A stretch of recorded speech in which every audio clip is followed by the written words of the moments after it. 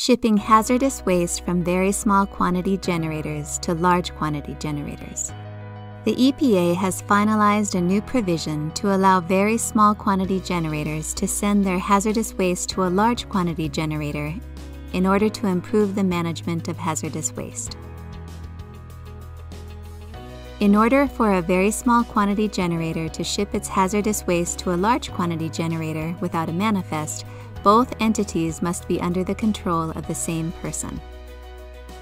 Control means to have the power to direct policies of the generator. The corporation that owns the very small quantity generator would have control, but a subcontractor of the generator would not. The other important term is person. A person is defined as an individual, trust, firm, joint stock company, federal agency, corporation, partnership, association, state, municipality, commission, or any interstate body. Let us understand this concept with an example. A very small quantity generator owned by Company A could not send its hazardous waste to a large quantity generator owned by Company B. A very small quantity generator owned by Company A can only send its hazardous waste to a large quantity generator owned by Company A. Furthermore, Company A could not use a contractor to do this, Company A would have to control the waste from production at the very small quantity generator through transport to its associated large quantity generator.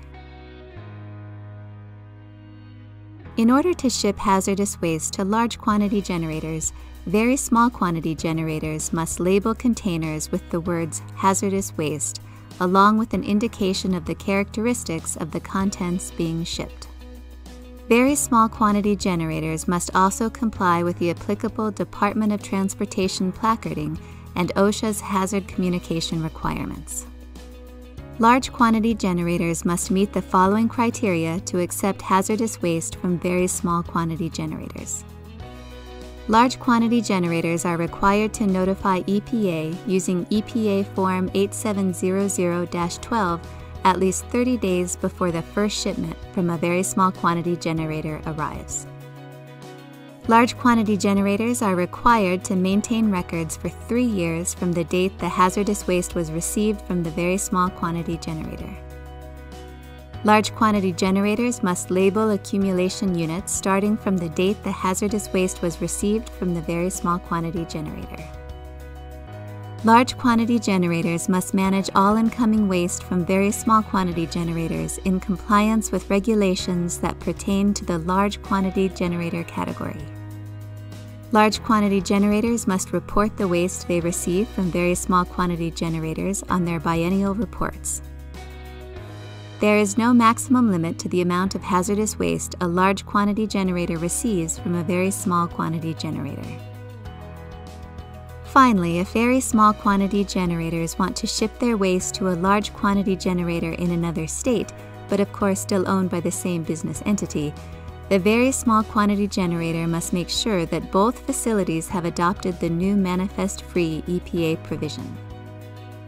If the very small quantity generator will ship through states that have not adopted this provision, the generator should reach out to those state EPA agencies to ascertain their policies for such shipments.